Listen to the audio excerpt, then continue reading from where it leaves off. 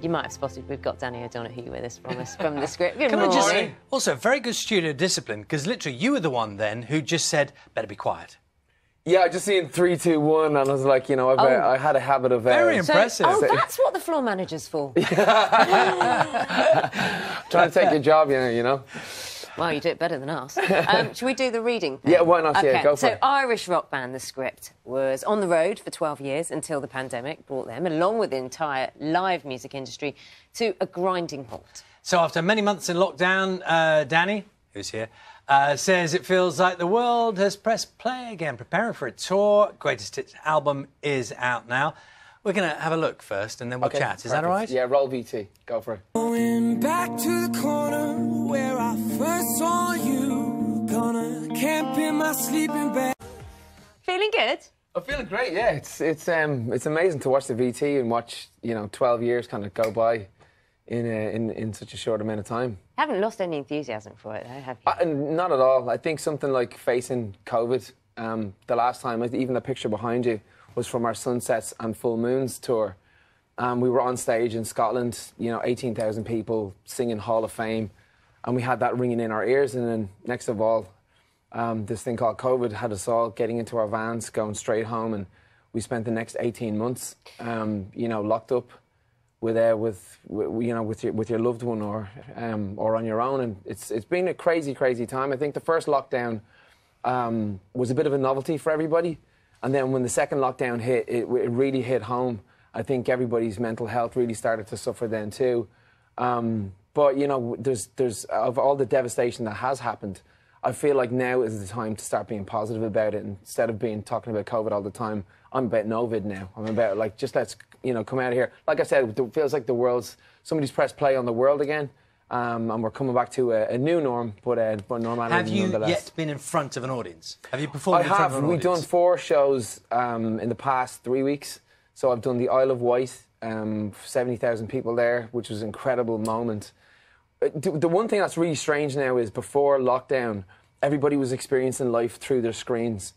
Um, and I looked out into the audience, and there, there wasn't one person on their phone. I think everybody experienced life through their phone while they were sitting in their house. Were and they still doing the back out. filming thing, though? No, you, no. It, it was the weirdest part was you could see the whites of everybody's eyes, and they were really happy to just be back out in the field again and be around people, which is hence why we we released the the, the greatest hits.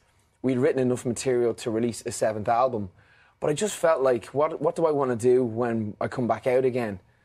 I just want to go somewhere with my friends and my family in a front room somewhere, maybe a pub, a bar, and just play these songs because, you know, some of the lyrics that we have now have kind of changed and they've they've turned over. So we have a song called "For the First Time," and the lyrics are, you know, um, uh, there we were drinking old cheap bottles of wine, sit talking up all night, doing things we haven't for a while.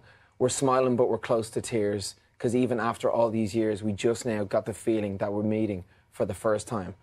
Now that song could have been written two days ago, or mm. but it wasn't. It was written 12 years ago, and like I said, I'm so excited about getting. You're not going to find another band who's more excited about doing a greatest hits than the script, you know, because most people kind of cough their way through the fact that they're doing it. But I just can't think of anything better than going back to a festival or an arena and singing these songs. You Quite know? a few, or a few of the music artists we've spoken to so far. Yeah. Describing that first moment on stage, Yeah. when they see the, have said it really is. Don't know quite what it's going to feel like until you stood there, and it can be a bit of an emotional roller coaster. You're really happy. There's a lot going on. You- You're, Is it you're a that bit for stunned you? because there's a lot of people there, but to be honest, it's what it's what I was rushing back out to do. You know, I think everybody's life came into very sharp focus. Um, a lot of people cut all of the, the crap that was in their life out and just focus on the things because what it, what we've learned is the life is just too short. It's too short. So if you're coming back out, don't settle for anything unless it's everything. That's kind of where the song um, "I Want It All," our brand new single, came from. Was you know, a lot of people went through breakups. Um, I think if you weren't meant to be with the right person through lockdown, they broke up. But you know, that breakup is a is a step on the pathway to finding the right person. But also, like me and my girlfriend, we we we'd only moved in maybe two months before lockdown. That's tough. And we went right into the fire. But to be honest, it galvanized us and it made us better than ever. So I just feel like, you know, with, with now everything's moving back out again, I just feel like friends, family, find what you love to do and then do it till you die because there's really not that much time, you Did know. you find your friendship circle kind of got smaller because you just kind of realised that the ones you really want to see? Yeah, yeah. yeah. I know. If I'm being honest, you know, I, I I struggled a little bit second time around. You know, I was drinking too much and I had you know a delivery on Just Eats on speed dial and Well, you put on some weight, didn't you? And Uh, yeah, yeah, I did. I put on a lot of weight actually. I put on uh, about. Uh, I'm trying to cover it over. No, I put on. I was up about 101 kg, and then I dropped down. I threw. Um, You doing martial arts? I do martial arts. Yeah, yeah, yeah. I've been boxing for a few, a number of years, um, but then I started doing Muay Thai.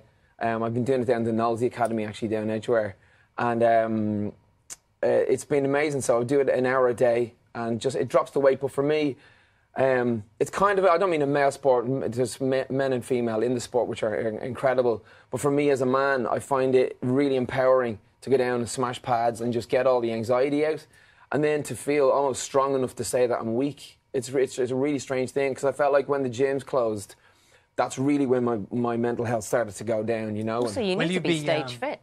Yeah, will you be incorporating any of the martial arts moves in your stage routine? You know, if you just for the manager, Ben Nazar, to get us more money for uh, for the gigs. No, um, to be honest, it's it's exactly the same as doing rounds. You know, you got like what three minute rounds, and then you're off for like thirty seconds. Let's say in boxing, whereas or in in Muay Thai, whereas the same songs. Songs are three and a half minutes long.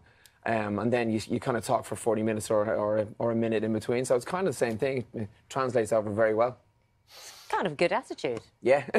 lovely to see you this morning. Thank you for sorting everything out in Yes, the studio. and- It's Listen, good to no have worries at all. Yeah, yeah. Good. And- Uh, We're on the countdown now. Just in, just to inform you Where- what's going am I on. reading this next part, am I? Yeah, script can if you album is want. called. What's it called? Oh, the album is called Tales from the Script. It is out right now. Um, and the single right, is all called right, I now Wanna stop, now we've stop. got no time. Okay, we've, and we've keep got on. the countdown. That's all from us this morning. We'll be back tomorrow at 6. Uh, time now for uh, Morning Live.